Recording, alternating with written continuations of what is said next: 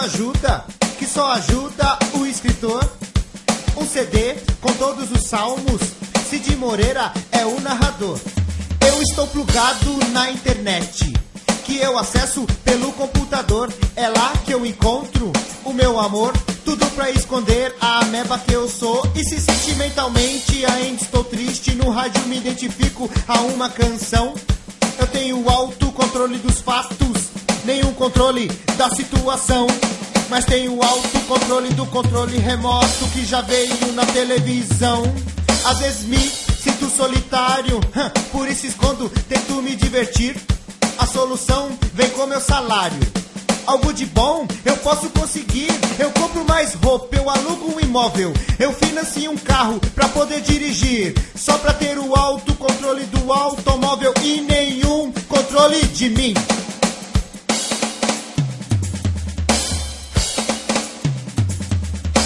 Vou me matar, agora tenho motivo. Não vou me conformar por um amor perdido.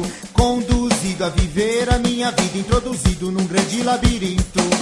E pra mim a única saída que achei dá na beira do abismo. Descontrolado com meu jeito impulsivo. Amargurado, eu tomo um antidepressivo.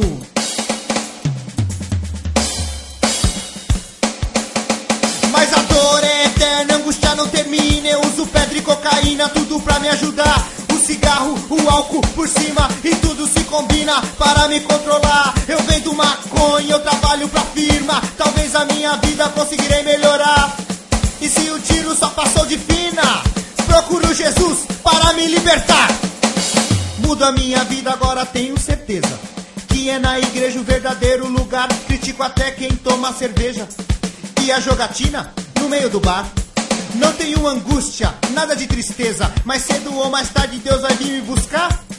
Financiei a minha própria pobreza, a casa do Senhor, em primeiro lugar. Depois da vida já mudei meu dilema, também fiquei do lado de Jeová. Mas ele não resolveu meu problema. Eu arrumei um santo pra poder reclamar. No meu casamento, o padre de cara feia. Porque eu não tinha dinheiro para pagar o quê? A cerimônia, a festa, a ceia, o filho, a dívida, o lar. Nada de resposta ou algo revelador. Quando eu encontrei o meu orixá. A tristeza, a angústia, a dor sempre ficaram no mesmo lugar. Até que um dia até que um dia, mas até que um dia, mas até que um dia um livro me mostrou. Até que um dia um livro me mostrou. Até que um dia um livro me mostrou algo de diferente que eu nunca vi. Um verdadeiro maluco me falou a respeito da dor, a respeito de mim. Mas é que até que um dia um livro me mostrou algo de diferente que eu nunca vi. Um verdadeiro maluco falou a respeito da dor. Ele disse assim: Existe por certo um valioso caminho que só você pode atravessar. Mas você deve passar sozinho. Não venda seu caminho para quem quiser comprar. Depois irão surgir muitos compradores tentando destruir a sua decisão. Trarão as angústias e também as dores, alimentando o seu ego como solução. Mas não se apegue a nenhum desses valores que determinam como você vive.